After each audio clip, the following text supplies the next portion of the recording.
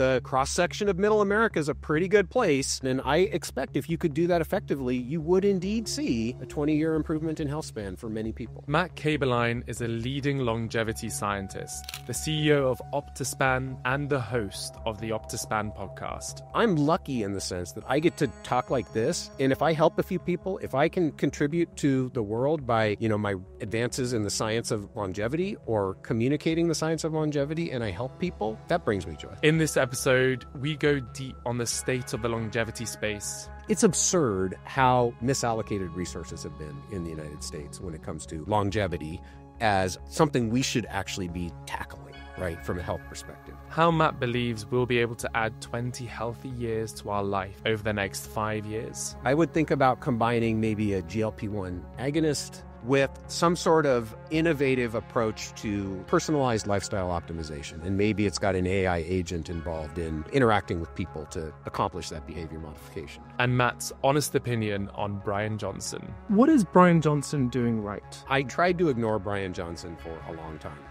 because, frankly, he annoyed me.